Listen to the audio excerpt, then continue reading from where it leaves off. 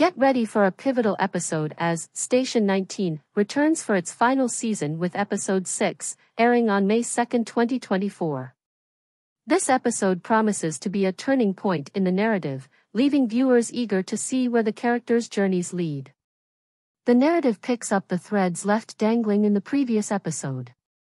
Lingering questions and cliffhangers will be addressed, propelling the story forward with renewed momentum.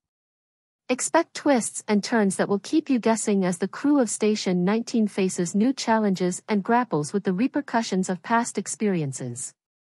The series has consistently garnered praise for its realistic portrayal of the lives of firefighters.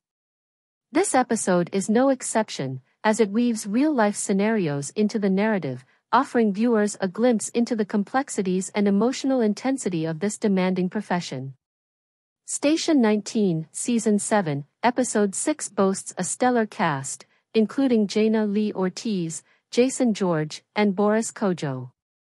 Their commitment to their roles shines through in every scene, creating a powerful sense of camaraderie and shared purpose amongst the characters. Mark your calendars for an episode filled with drama, action, and a closer examination of the emotional toll borne by these courageous firefighters. Tune in on May 2, 2024, to witness the next chapter unfold in the final season of Station 19.